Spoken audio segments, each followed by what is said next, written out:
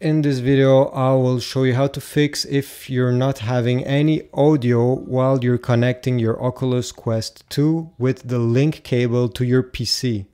One thing that helped many people, okay, is to reinstall the driver, the Oculus driver of your PC.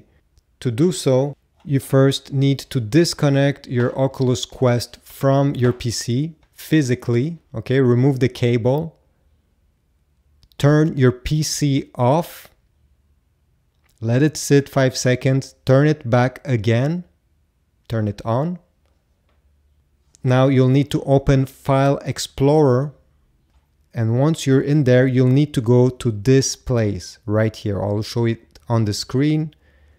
Type this. If you install your Oculus driver in another place, then go to that place. But most people will have it installed right over there.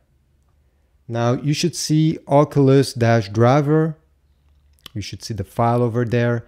You'll need to double click on it. Okay, so, so this should fix your problem. Just let it do its stuff uh, after you clicked. You can even restart your computer after it's done just to make sure and try everything back again by connecting it with the link cable and it should work.